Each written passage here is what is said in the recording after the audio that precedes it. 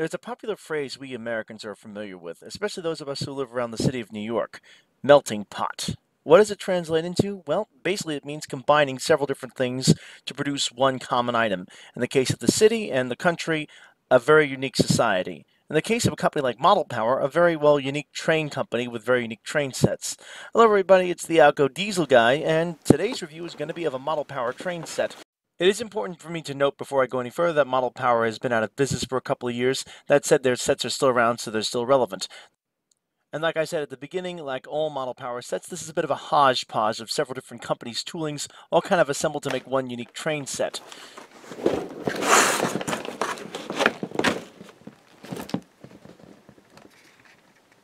As you see, the track layout is a very basic 36-inch circle with absolutely no I'd also like to point out that this set, due to, of course, the fact that it's electronic and, of course, has small parts, is not appropriate for anyone under the age of 14.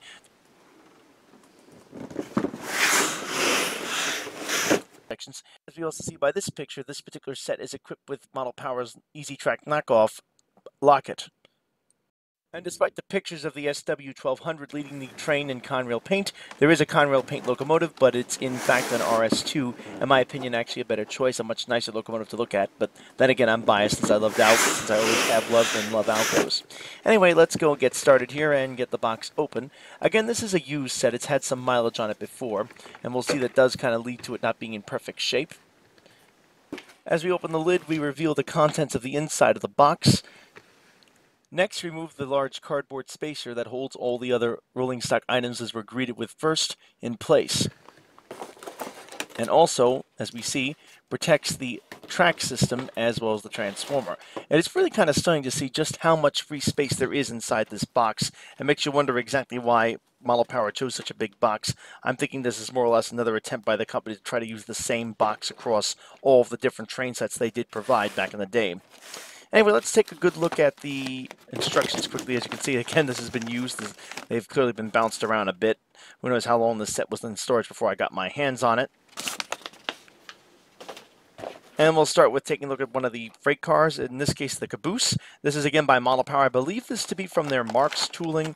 Nothing fancy, very crude detailing on it as we see. And shockingly enough, and this is a detail that'll be true of the entire train set, it actually uses horn hook couplers. And this is a pretty recent train set itself. I think this was out in the up to I think all the way up until the company went out of business in 2014. So it just shows to show you that some of the sets weren't quite straight. Though I think actually this might be an earlier one, so I could be wrong on that one. Next we have the recycle car, which I believe is a Mehano model in this case. Again, equipped with horn hook couplers. Again, with as with the caboose, I forgot to mention before, plastic wheels. And as you see, a under-mounted weight to keep the give the car a very low center of gravity and keep the weight right down where it needs to be. Nice little touch there by Model Power. Next, let's take a look at what should be a 40-foot Penn Central hopper car, mm. or at least it should have been, but as we can see, the box is very clearly, well, empty. not clear as to what happened here. Again, this is a used set. Uh, not sure exactly why that isn't there, but it isn't. Now let's take a look at this Denver and Rio Grande gondola car. Again, I believe this to be Mehano tuning. I do not believe that this is the Marx tuning, tooling, or it could be, because again, th these were hodgepodge sets. And yet again, we see it is with horn hook couplers, not knuckle couplers, despite the age in which the set was built, which was sometime toward, I think, 2010 or just before 2010. Not sure of the exact date. Over here, we have the wires for the actual transformer. We'll see exactly the reason why this does not have a plug on it in a second. Uh, this is kind of crude. And it again has the hooks that go onto the transformer. Same traditional stuff as we saw in my earlier model power train set review. Anywho, let's take a look at the RS2 locomotive, the part pretty much everyone's been waiting for. This engine back in the day which was developed by Mehano, I believe, for Varney Industries, was known for its mechanics on it. Originally, it was it was rear-wheel drive only. This particular unit, as we see, is the latter one with the all-wheel drive center point-mounted motor, similar to what Athearn is, sort of a Beatty Athearn Blue Box engine, except only a three-pole motor, so don't completely mistake it for it, though it does have all-wheel drive, much like the Athearns did. And the all-wheel drive is a huge bonus, as it gives this locomotive incredible pulling power, especially for such a basic machine. And you're taking a good look at this engine, as we can see here, the dimensions are actually pretty accurate on this one. It was pretty revolutionary at the time, and it's ironically enough thanks to its very basic drivetrain from the era, which was in that case a truck or sort of pancake-style drive system. Ironically enough, the lack of flywheels allowed the locomotive shell to be narrow enough to represent the proper dimensions of a model of an RS2, which would not have been possible due to the flywheels in the Athearn design motors of the time. It was later upgraded to this one,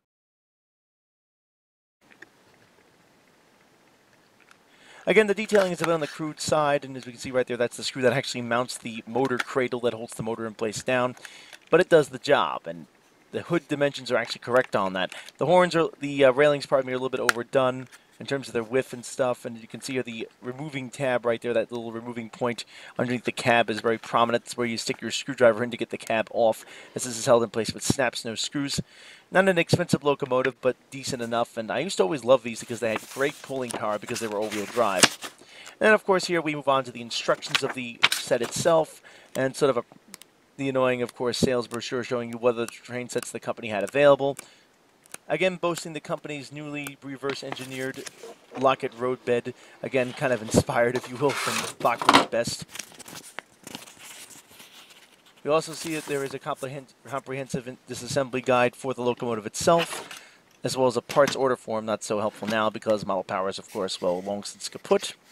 Next, let's take a good look at the power pack slash transformer included in this set. And yes, if it looks familiar, yes, it is in fact the same power pack slash transformer included in that basic model power set I reviewed a couple of weeks to, a, I think it was a week, in fact, actually a month ago now, back. Same basic design, red le lever and all. Again, a bit on the crude side, but does the trick. And here is, of course, the famous Lockett roadbed. Now, I'm sure many of you out there have probably come to the very understandable conclusion that this is, to paraphrase a certain British automotive journalist, just a bunch of Bachmann Easy Track with Easy Track crossed out and Lockett Roadbed written in in crayon. But in fact, no, it is actually a little bit different if we take a look at the distinct hook in the front there. We also note that the quality control isn't quite up to par, as we can already tell there's a little rust coming through on this. Anyway, let's get a piece of easy track out just to prove that I'm not going crazy here and that there is a difference. As you can see here by the Bachmann, again, steel alloy, alloy, in this case easy track, there is a noticeably different hook on it. I have gotten these to work together, but they are distinctively different track. And again, the model power is again sort of a cheapened version, as ages as that comment sounds.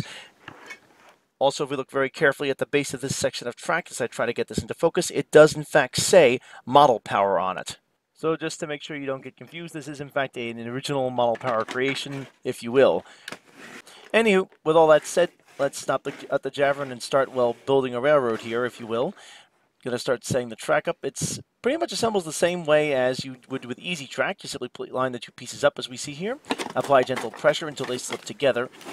Also ensure the joining point is smooth so that there's no bump in order to avoid, well, trains going flying when they hit the joins as they come around the tracks. The track does go together with a reassuring click, but just again make sure the joiners are straight because that doesn't always happen as again in particular this track has been used which seems to affect them. Anyway let me go ahead and speed up this section so I don't bore you as essentially this is kind of repetitive as it is a simple 36 inch circle with nothing but the same type radius curves in it.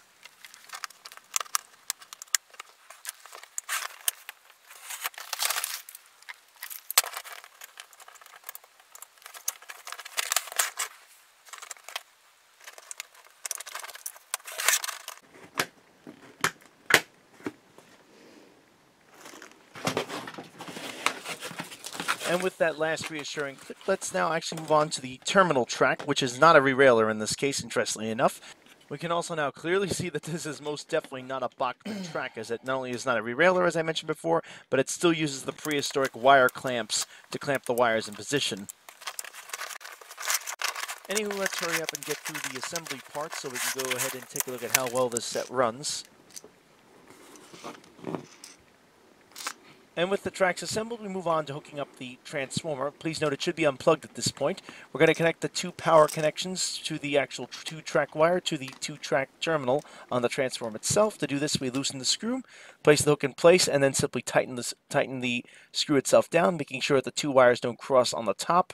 And next, we'll connect those wires to the actual track itself. To do this, we press down the metal clamp and feed the track through the feed the track wire through the hole. Once this is in position, we simply release the clamp and the wire will be clamped securely into position. Please note again to twist the wires and to be careful. Again, these wires are known to cross and they can, especially if the clamps fail, so you got to be very careful with this. Again, if one, especially one who's setting up this train set, is handy with a soldering iron, I recommend dipping the wires in some flux and applying some solder to make a better connection and also to reduce the likelihood that they will cross, as this will avoid uh, sort of rogue strands making contact with each other and causing a short and other such issues.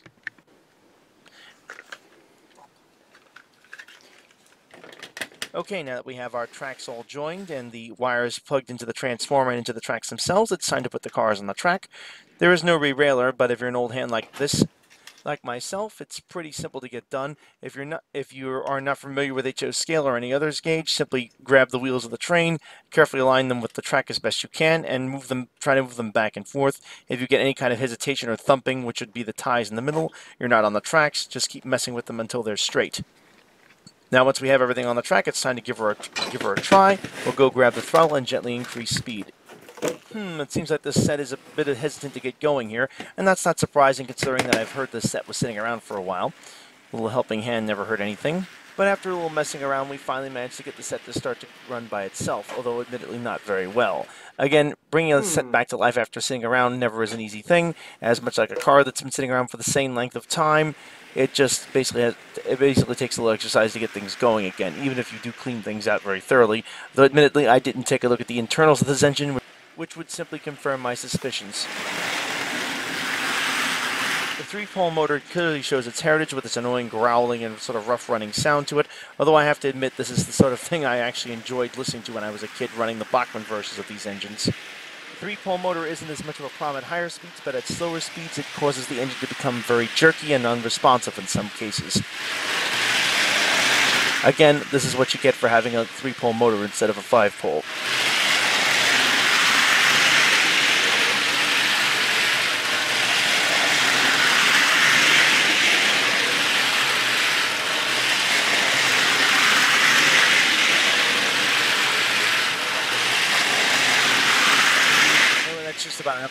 This is not a refined train set. Let's take a look underneath the hood and see what makes this thing tick. Again, these Mehanos, especially of this era, are more or less a cheapened version of the Athearn style drive system, in this case with a three-pole motor. To get in, we don't actually have any screws as is typical of this era. We have a single tab in the front, as well as two unders the under the cab itself.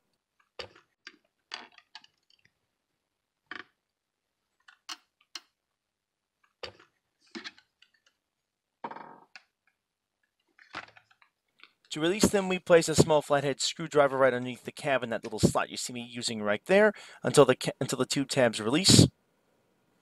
Once the tabs have been released, it's a matter of manhandling the frame off very carefully to get it to release. Again, this has never been opened as far as I can tell since it was new, and we immediately see the mechanics, as I mentioned, underneath the hood as well as that annoying wake that was thrown in on some of these models with a questionable reason, as that is kind of near, electri- uh, near electrical current. Not sure exactly why Model Power did that, but I did see it done.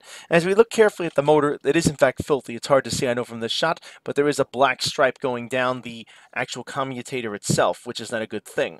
Luckily, the fix for this issue is pretty simplistic. We just need some conductive lube and a small micro brush. As we can see here, I'm going to be using some of the Easy Command branded this lube. You can use any brand, but in this case, this is what I happen to have. This is conductive lubricant, and it is different from oil in that this will lubricate as well as enhance conductivity at the same time. You don't want to use oil as that will tend to harm the brushes and or foul up the commutator, which is not a good thing.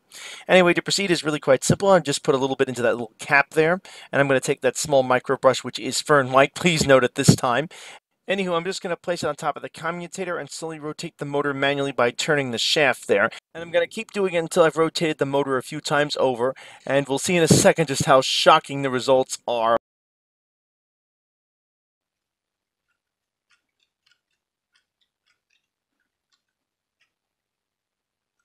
And again, keeping in mind that that brush was fern white when I started, as we can clearly tell it is anything but white right now. Ew, just look at that, it's all black, and that just shows to show you how much carbon it built up on this motor. Next, we're going to put just a few drops of LaBelle 107 on each of the bearings to ensure that the motor is going to be able to turn freely. I actually overdid a little bit because that's a new bottle, it overran a little bit on me. You don't want to overdo this as you can cause problems with it, but at the same time, you want to make sure you just get a little oil on that. Once we're done lubricating the bearings, we'll go ahead and reassemble the locomotive itself.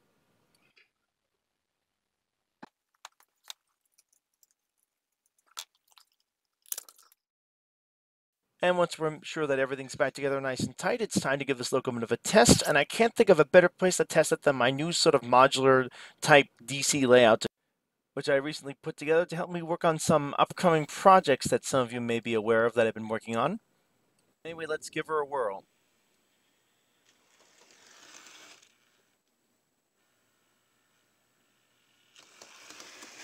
We can see, while slow speed is nothing to really marvel at, the locomotive runs very smoothly once we get slightly above the really low speeds. No hesitations, just nice and smooth. Unlike before, if you remember, it was stalling at every chance it got.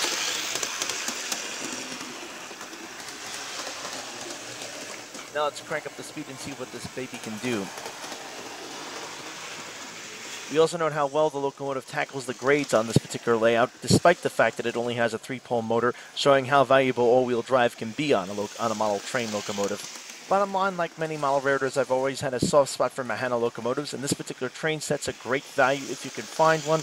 They are a little tricky to come by as Model Power is out of business right now, and possibly for the rest of its rest of, its, rest of all eternity. At any rate, you can locate them at train shows, and they are still very much a relevant part of model railroading. And if you can find one, I would strongly recommend picking it up, as that track can again go pretty much anywhere. It's just not as well refined as some of the other products out there. And before I close out, I'd like to again give credit to HOSeeker.net. If it wasn't for them, I couldn't do half the videos I do with their wealth of knowledge on the models. Again, they don't sponsor me. I'm just giving credit where credit is due. They have everything from literature to get your collection upgraded to schematics to help you repair your old vintage locomotive. Check them out at HOSeeker.net. And that's going to do it for this review. Thank you very much for watching. And again, if you liked it, thumbs up. If not, thumbs down. And like uh, again, don't forget to subscribe. And again, keep the metal side down.